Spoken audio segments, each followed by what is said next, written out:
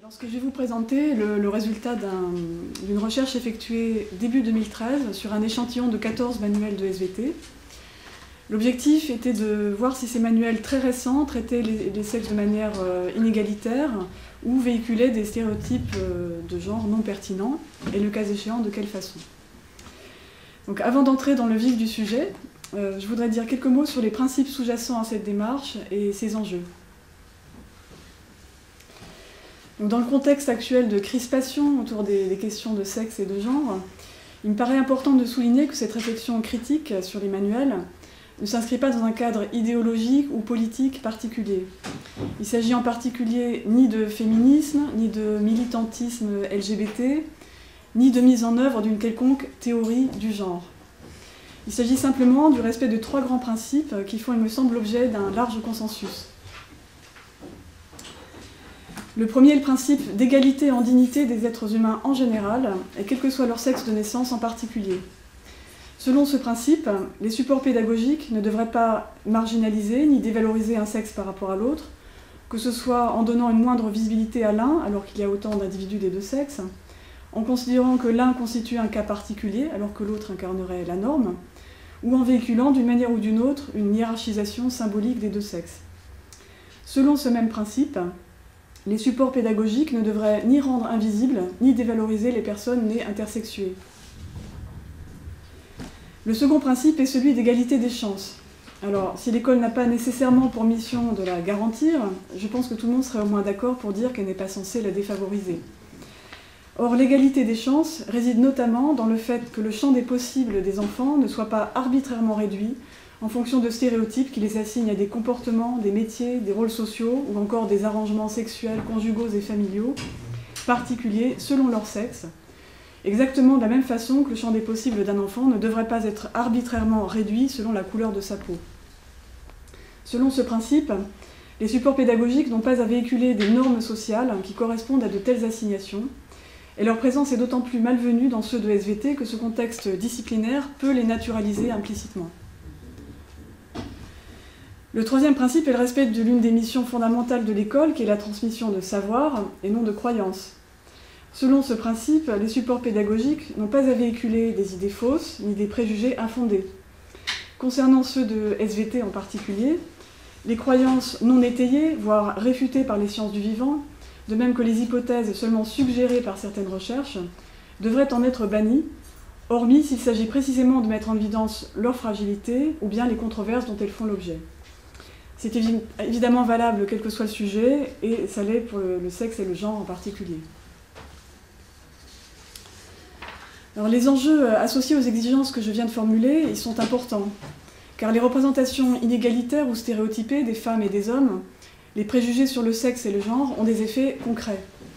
Ils sont source d'autolimitation des filles et des garçons qui vont par exemple ne pas s'investir dans certaines matières ou ne pas se projeter dans certaines études, ou encore qui vont penser qu'ils ne peuvent ou ne doivent tirer du plaisir sexuel que de certaines pratiques adaptées à leur sexe. Ils sont aussi source de discrimination selon le sexe. Par exemple, ils induisent un traitement différencié des filles et des garçons en classe par les enseignants, le plus souvent involontaires et inconscients, ou encore des conseils d'orientation différenciés.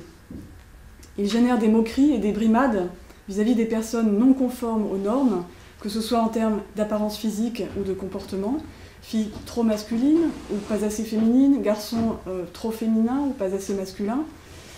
Ces moqueries et brimades peuvent prendre la forme de harcèlement et de violences physiques qui vont parfois très loin jusqu'aux agressions transphobes ou homophobes. Ces représentations normatives et préjugées sont évidemment source de mal-être pour les personnes qui n'y sont pas conformes. Mal-être qui là encore peut aller très loin puisque cela pousse certains adolescents au suicide. Enfin, il suscite ou favorise des comportements induits par la volonté de se conformer aux normes qui peuvent être délétères pour soi ou pour autrui. Filles s'astreignant à des régimes inutiles et dangereux, garçons prenant des stéroïdes anabolisants, ou encore garçons développant des conduites de harcèlement sexuel ou de rejet de la discipline scolaire comme moyen d'affirmer leur virilité. Lutter contre la diffusion de ces représentations et préjugés ne revient donc pas seulement à répondre à des exigences issues de grands principes abstraits, c'est œuvrer très concrètement pour une société plus respectueuse de la diversité, plus favorable à l'épanouissement de chacun et moins violente. Voilà, cela étant dit, voyons maintenant en quoi les manuels de SVT les plus récents ne respectent pas les quatre exigences que j'ai formulées pour commencer, c'est-à-dire en quoi ils sont porteurs de biais qu'on peut qualifier de sexistes. Alors les manuels s'avèrent euh, riches en biais euh, créés par les choix d'iconographie ou d'exemplification, mais aussi par le langage employé et les connaissances véhiculées. Donc je vais vous présenter à la fois les plus répandus et d'autres euh, plus rares ou plus spécifiques et qui illustrent la diversité des modalités et des natures de biais sexistes qu'on peut trouver dans les manuels, sans prétention à l'exhaustivité bien sûr. Je, commencerai par vous parler des fiches métiers qui émaillent les manuels, qui donnent un, aperçu de biais récurrents qui ne sont pas spécifiques au SVT. Ensuite, je montrerai, euh, je montrerai un peu en généralité pour décrire les biais globaux dans l'exemplification et l'iconographie, et nous verrons quelques exemples d'iconographie problématique. Je passerai ensuite en vue un certain nombre de termes et de formulations trouvés dans les manuels qui constituent pour le moins des maladresses langagières. Et puis pour finir, j'évoquerai les biais relevant de, quatre thématiques qui concernent surtout les manuels de première. Tout d'abord les fiches métiers. Donc, alors bien que certains éditeurs soient plus vigilants que d'autres, ce qui ressort globalement des manuels, c'est d'une part que le fait d'avoir un métier, c'est un attribut plus masculin que féminin. Euh, que certains métiers sont réservés aux hommes, notamment les métiers les plus techniques et ceux qui se pratiquent en extérieur, que d'autres métiers plus rares sont réservés aux femmes, et qu'il existe tendanciellement une hiérarchie de statut qui place les femmes en dessous des hommes. Alors ces messages, euh, ces messages implicites sont véhiculés en premier lieu par le sexe ratio dans les dessins ou photos des personnes qui les exercent. sur l'échantillon que j'ai analysé sous cet angle, il y avait en moyenne environ deux fois plus d'hommes que de femmes, tout simplement. Et dans aucun manuel, il n'y avait plus de femmes que d'hommes. Ensuite, ces messages passent par une féminisation des noms de métiers à géométrie variable. Dans certains manuels, il n'y en a aucune, tous les noms étant uniquement masculins, et dans d'autres, elle est plus ou moins biaisée. Le cas type le plus euh, grossier, mais uniquement au masculin les métiers renvoyant des centres d'intérêt ou des capacités traditionnellement associées aux hommes, et concède que ceux correspondant à des centres d'intérêt ou capacités traditionnellement associées aux femmes puissent éventuellement être exercés par elles. Dans un autre manuel, c'est plus subtilement une opposition euh, intérieure-extérieure qui structure toute la liste des métiers, avec par exemple des techniciens qui ne sont qu'au masculin quand il s'agit de techniciens géologues en espace vert ou en espace naturel, mais qui peuvent éventuellement être des techniciennes quand ils sont de laboratoire. Dans un autre cas, on a une distribution en trois catégories de métiers, ceux strictement masculins, ceux pouvant éventuellement être exercés par une femme et ceux strictement féminins. Cette sexuation des métiers est parfois complétée par celle des qualités requises pour les exercer, qui sont également féminisées ou non de manière biaisée. par exemple, dans un manuel où les métiers de policier scientifique, chirurgien, paléontologue et technicien sont uniquement au masculin, eh ben, les qualités qu'ils requièrent sont soit strictement masculines, telles que curieux ou capable de rester très concentré, soit éventuellement féminines, telles que soignée, patiente et précise, comme par hasard. On note par ailleurs que le procédé de féminisation utilisé le cas échéant est toujours la, classique mise entre parenthèses du féminin, alors que d'autres solutions existent, euh, d'autres solutions sans effet secondaire symbolique, si je peux dire, existent. Enfin, l'iconographie peut véhiculer toutes sortes d'assignations de genre et parfois une sexuation anatomique caricaturale. Alors pour ne prendre qu'un exemple, euh, ici les images montrent euh, des femmes dans les métiers moins prestigieux et subordonnés aux hommes. Hein. on voit la technicienne d'analyse travaillant sous la supervision du médecin, la technicienne de laboratoire travaillant pour le chercheur, une femme ignorante à qui un homme explique comment elle doit manger, des femmes qui sourient en toutes circonstances, alors que les hommes n'ont manifestement pas à se soucier d'être euh, avenants, et des femmes qui sont beaucoup plus petites que les hommes, je ne sais pas si vous avez remarqué. De manière générale, dans tous les manuels, enfin, tous les manuels comportent au moins euh, l'un des quatre euh, biais suivants dans l'iconographie et l'exemplification. J'ai dit quatre, je crois que j'en ai mis que trois. D'abord, un, androcentrisme tendant à assimiler l'humanité aux personnes de sexe masculin et à considérer ce dernier comme la norme. Ce biais est notamment matérialisé par le plus grand nombre de sujets, masculins globalement et par l'utilisation plus fréquente de silhouettes masculines quand il s'agit de représenter l'humain en tant qu'espèce ou pour décrire un mécanisme biologique. Ensuite, une dévalorisation ou une minoration du sexe féminin dont la principale modalité est la surreprésentation des hommes parmi les sujets qui savent, qui décident, qui explorent, qui découvrent. En particulier, les femmes sont largement sous-représentées, voire dans certains manuels totalement absentes, des éléments d'histoire des sciences qui, qui, figurent dans les manuels. Donc comme si seuls des hommes pouvaient être de grands scientifiques. Alors si ça reflète dans une certaine mesure une réalité historique, il existe tout de même des femmes qui ont joué un rôle déterminant dans, des domaines au programme et qui, pourraient être cités. Et puis on pourrait aussi se focaliser sur ce qui permet de comprendre l'évolution des connaissances scientifiques plutôt que d'héroïser les acteurs supposés clés de cette évolution. Euh, si certains noms tels que Mendel ou Darwin sont incontournables, il ne paraît pas très pertinent de citer nommément tel ou tel directeur de laboratoire dont on ne sait pas au fond ce qu'il doit exactement à ses collaboratrices et collaborateurs. Trois autres modalités de, hiérarchisation repérées dans les manuels sont un plus grand nombre de filles parmi les sujets mineurs et d'hommes parmi les adultes, l'utilisation préférentielle du sexe féminin dans les comparaisons entre l'humain et l'animal, et l'accentuation du dimorphisme de stature, alors que ce soit en montrant jamais de femmes plus grandes qu'un homme, ou bien en montrant des femmes particulièrement petites à côté des hommes, comme on l'a vu euh, tout à l'heure. Enfin, troisième grand type de biais, des assignations de genre, véhiculées par des associations stéréotypées entre un sexe et certains rôles sociaux, contextes ou attitudes. Alors, de manière récurrente et conforme aux stéréotypes de genre, aux hommes sont ainsi associés tendanciellement l'exercice d'un métier, comme on l'a vu, le sport, la science et les techniques, l'automobile, l'énergie et la sphère publique, et aux femmes, la parentalité, le souci de son apparence, le soin des autres, la fragilité et la sphère privée. De manière encore plus systématique, aux femmes est associée la préférence pour des partenaires masculins et aux hommes la préférence inverse. Le plus souvent, ces assignations implicites sont opérées via un sexe ratio déséquilibré dans les exemples illustrant un contexte particulier. vraiment, quelque chose de très récurrent, c'est qu'on voit généralement plus de sujets masculins que féminins en train de faire du sport dans les manuels. Soit via des images signifiantes qui ne sont pas contrebalancées par des images à la signification inverse. Alors, voici quelques exemples. Dans le manuel de, gauche, l'exposé du mécanisme de l'hérédité génétique est illustré par un dessin montrant une femme et un homme habillés différemment, dans des postures différentes, une femme qui met en valeur son corps en montrant ses jambes et son décolleté, et en arborant une coiffure sophistiquée, du maquillage, des boucles d'oreilles, et qui est beaucoup plus petite que l'homme.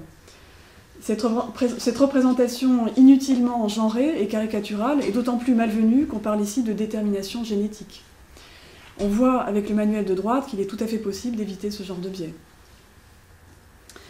Ici, on voit, l'utilisation de sujets inutilement genrés pour parler de mécanismes biologiques. À gauche, un homme fait de la musculation pour, illustrer le métabolisme des glucides, et à droite, une femme est maquillée, porte un bijou et un large décolleté pour illustrer l'immunité. Ici, c'est une double page sur le thème corps humain et santé qui fait comprendre que l'activité sportive et la recherche de performance, c'est pour les hommes, alors que les femmes sont fragiles et doivent veiller à ne surtout pas dépasser certaines limites.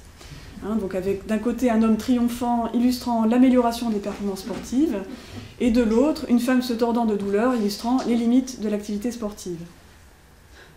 Dans un autre manuel, on retrouve exactement la même répartition des rôles, dans une double page sur le thème fonction cardio-respiratoire et pratique d'un sport, avec d'un côté des garçons qui améliorent, leur fonction cardio-respiratoire en jouant au foot, et de l'autre, une fille chez le médecin qui illustre l'existence de contre-indications à la pratique d'un sport. Quand des couples hétérosexuels sont mis en scène, soit c'est l'homme qui protège, qui rassure, qui guide, qui est solide et serein, quand la femme se repose sur lui, se blottit dans ses bras, se laisse conduire ou est inquiète, soit il n'y a pas du tout d'asymétrie de ce type. Mais curieusement, on ne voit jamais l'asymétrie inverse l'asymétrie en un seul mot. Hein. Une assignation de genre particulièrement courante est celle selon laquelle la sexualité pour un homme, c'est avec une femme, et réciproquement. Dans le manuel du haut, par exemple, une page sur les différences génétiques, morphologiques et anatomiques du chapitre Devenir homme ou femme est ainsi illustrée par un couple hétérosexuel, en outre explicitement désigné comme tel, donc comme s'il y avait un rapport entre sexe biologique et orientation sexuelle. Dans les deux manuels du bas, les seules photos illustrant le comportement sexuel humain sont des photos de couples hétérosexuels. Encore, le message est on ne peut plus clair. Quand il s'agit de faire famille, non seulement la conjugalité hétérosexuelle s'impose, mais selon un manuel, la famille père, mère, enfant constitue en quelque sorte l'état naturel de l'être humain, avec à gauche cette illustration légendée, je cite, un couple de chimpanzés observant son environnement et l'homme dans son environnement. Et, tout ça pour introduire le chapitre consacré à la vision. Hein, il, fallait, penser. Alors un autre manuel beaucoup moins normatif montre des couples homo aussi bien qu'hétéros, mais d'une façon maladroite qui réitère des associations indues entre sexe, genre et sexualité. déjà c'est pour illustrer le chapitre devenir homme ou femme, comme s'il y avait un lien entre sexuation biologique et orientation sexuelle. Et en plus la légende une grande diversité d'hommes et de femmes, laissant entendre que la diversité, c'est quoi? Ben, Ça consiste à être soit homo, soit hétéro, donc exit la bisexualité. On note aussi que le couple d'hommes euh, reproduit la symétrie du couple hétéro, comme si l'un jouait le rôle de la femme et, l'autre celui de l'homme. Et puis apparemment, l'homosexualité féminine semble devoir se faire plus discrète que l'homosexualité masculine. Dans ces exemples tirés de deux manuels différents, l'association entre les femmes et la prise en charge des enfants en bas âge est présentée comme un phénomène universel et lié à notre patrimoine génétique. En haut, avec une série de femmes avec leurs bébés, qui est légendée tous semblables, tous différents, tous les êtres humains partagent les mêmes gènes. Et en bas, avec ce choix très particulier, pour illustrer la proximité génétique entre l'être humain et le chimpanzé, de rapprocher une femme embrassant son bébé et une guenon avec son petit. Les photos mettant en scène la famille véhiculent encore trop souvent non seulement l'idée que par définition un homme fait nécessairement famille avec une femme et réciproquement, mais aussi celle que le rôle des pères consiste seulement à être présent ou à jouer avec les enfants, celui des mères étant de prendre en charge les soins et apprentissages de base. On remarque par exemple dans la photo en bas à droite, qui est pourtant justement censée illustrer l'évolution des rôles sociaux de sexe, que le père et le fils pratiquent ensemble une cuisine récréative, la prise en charge féminine de la cuisine en tant que tâche domestique n'étant pas remise en cause, puisqu'on voit que la mère porte le tablier et surveille que tout se passe bien tout en essuyant la vaisselle. Alors venons-en maintenant à ce qu'on peut qualifier de maladresse langagière. En premier lieu, certains termes employés dans les manuels euh, sont à éviter. Par exemple, il est souvent fait référence à l'être humain ou à l'espèce humaine par le mot homme, parfois même avec un H minuscule, qui non seulement invisibilise les femmes, mais peut aussi concourir à renforcer des stéréotypes de genre dans certains contextes, comme dans l'exemple que j'ai cité. Certains manuels parlent d'hermaphrodisme ou d'intersexualité pour désigner l'intersexuation. Or, le terme hermaphrodisme ne recouvre qu'un très petit sous-ensemble, ce qui tend à l'invisibiliser. Et le terme intersexualité rabat indûment la sexualité sur la sexuation, puisqu'il s'agit de personnes dont les différents niveaux de caractérisation du sexe biologique sont non concordants ou ambigus, et non de personnes dont la sexualité serait indéfinie. Les termes transsexualité, voire transsexualisme, sont utilisés dans certains manuels pour désigner la transidentité. Le premier rabat à nouveau indûment la sexualité sur l'identité de genre, et le second est carrément péjoratif. La notion fantaisiste de genre biologique est plus qu'ambiguë, et quant à celle d'identité sexuelle, malheureusement introduite dans le programme et reprise donc dans les manuels, elle induit une confusion entre sexe biologique, identité de genre et sexualité. Parler de parents, de père et de mère pour désigner les producteurs de gamètes à l'origine d'un individu quand on parle de la reproduction sexuée, rabat indûment la filiation sur la reproduction et les fonctions parentales sur la complémentarité des gamètes mâles et femelles. En fait, il vaudrait mieux parler de géniteur dans ce contexte. De même, parler d'hormones sexuelles féminines, masculines ou mâles, comme le font certains manuels, maintient une projection abusive des catégories sociales du féminin et du masculin sur la classification d'hormones qui sont en réalité présentes chez tous les individus des deux sexes. Elle conforte l'idée fausse que des principes femelles et mâles universels seraient contenus dans ces substances et fonctionneraient comme des essences du féminin et du masculin. Le gène SRY, codant pour la protéine qui active la différenciation des gonades en testicules, est parfois appelé gène de la masculinité. là encore, cette terminologie induit euh, l'idée fausse qu'il existe une essence de la masculinité qui serait contenue dans un gène. Enfin, certains manuels utilisent des termes tels que désir, séduction, avance ou amour pour décrire des comportements sexuels animaux. Or, non seulement ce type d'anthropomorphisme n'est pas conforme à la terminologie scientifique, mais il induit le préjugé souvent sexiste que les mécanismes du désir, de la séduction et de la sexualité des femmes et des hommes sont identiques à ceux des femelles et des mâles de telle ou telle espèce. Alors, de manière générale, du fait de l'introduction de notions et de formulations ambiguës dans les programmes de première et du manque de maîtrise de ces notions par les auteurs des manuels, on trouve de très nombreuses phrases confusantes et tendancieuses qui véhiculent en gros le schéma selon lequel, sauf exception due à une influence sociale ou à un choix, en fonction de son sexe biologique de naissance, un être humain doit normalement acquérir une, identité sociale qui correspond à son sexe, développer une, identité psychologique et des comportements qui correspondent à ce sexe, et développer une, sexualité, structurée par une préférence exclusive pour les personnes d'un seul sexe, en principe le sexe opposé. Les sciences du vivant n'ayant jusqu'à preuve du contraire rien à dire sur ce qui fait qu'un être humain développe telle ou telle caractéristique psychologique ou comportementale selon son sexe biologique, ce schéma n'a pas de raison d'être suggéré dans les manuels. Or, c'est pourtant ce qui est fait, par exemple via les phrases suivantes. Le sexe biologique fixe un sexe femelle ou mâle et confère à l'individu une identité sexuelle qui relève de l'espace social. Chacun de nous est socialement reconnu comme appartenant à un genre, masculin ou féminin, c'est l'identité sexuelle. Et cette phrase figure dans le chapitre Vivre sa sexualité. Mais l'identité sexuelle peut être aussi influencée par les facteurs sociaux. On se demande par quoi d'autre elle est déterminée. L'orientation sexuelle, qui peut parfois différer de l'identité sexuelle, relève des choix de vie, il existe deux aspects complémentaires de la sexualité, l'identité sexuelle et l'orientation sexuelle.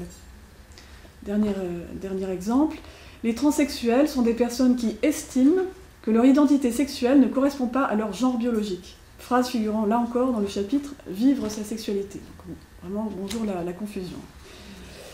Alors, parfois, une causalité biologique entre sexe et comportement genré est même explicitement suggérée, par exemple en parlant de caractéristiques comportementales ou de transformations psychologiques qui seraient associées à la puberté dans le chapitre Devenir homme ou femme, ou encore en, indiquant dans le chapitre Vivre sa sexualité que avoir un comportement maternel, eh ça fait partie des fonctions vitales liées à la survie de l'espèce.